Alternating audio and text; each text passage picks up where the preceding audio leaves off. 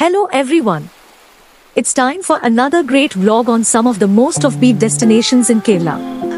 Hold tight and sit easy as we take you on this virtual journey. Kappil Beach, Varkala. Kappil Beach near Varkala is a hidden gem in Kerala, offering both beach and backwater scenery. It is a serene place with a long pristine beach for stunning sunsets and Edava Narayana Lake for bird watching. You can drive, rent bikes from Varkala, or walk on the beach side walkway from Varkala to reach Kappil. You can also take a backwater boat ride and visit the local temple, Kappil Bhagavathy.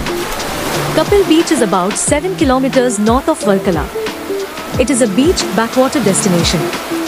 It is not just another tourist spot and is a must visit place, especially if you are spending time at Varkala Beach. Why? You may ask. Let me explain.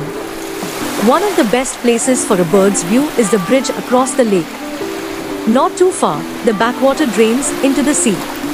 Splendid. The Lagoon Coconutson strip of Kappil is a stunner. What if I say these are some of the most photographed coconut trees in Kerala? Either true or it is a shot close to truth anyway.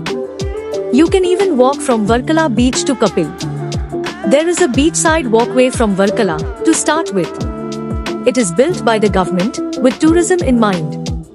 However, you will have to find your own path after a while.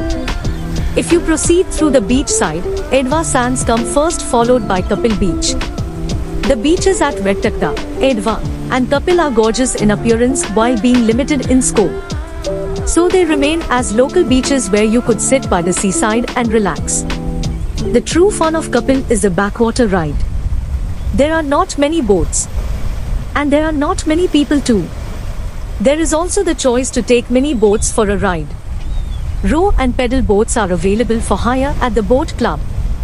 The local shrine, Kappil Bhagavathy Temple, is a regionally famous temple.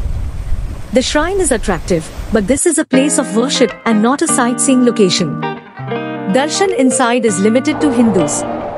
The best place to stay is Varkala. There is a wide choice of accommodation in Varkala, servicing diverse holiday budgets.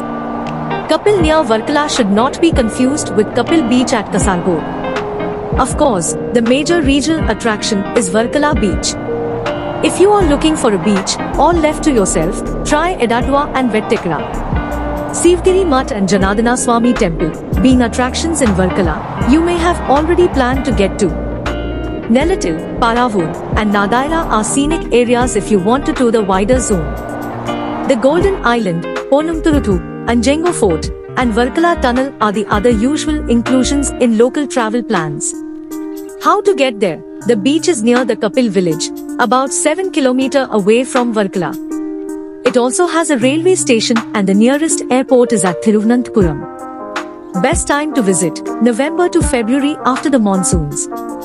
I know this will get you packing your bags, especially if you have a work from home or are staying in and around Kerala, say Bangalore, or for that matter Mumbai. Well, my friends, you could come from any region of the globe, and trust me, Kappil will offer you something you will choose to remember throughout the remainder of your life.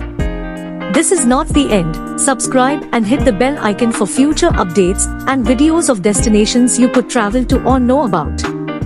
I hope you enjoyed this video as much as I did putting it together for you. At Godspeed folks, see you later.